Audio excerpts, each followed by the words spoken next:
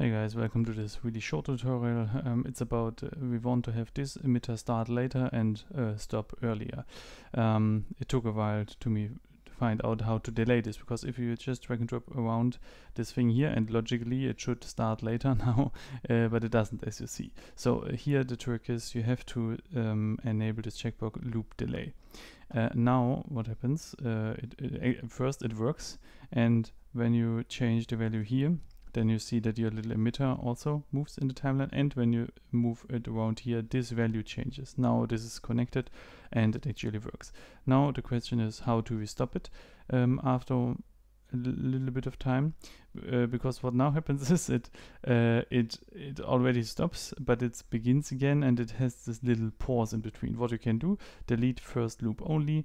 Now we have for example uh, the emitter and it starts and now it runs the whole time without a little pause or if you want to have it actually stop then just set this to once and now we should see this run for two seconds and then stop. Yes and when you want to short it then we can shorten it here and yeah everything works like expected. Now the biggest part for me to find out how uh, how to make this work was the delay actually uh, thanks to the real, real-time VFX Discord.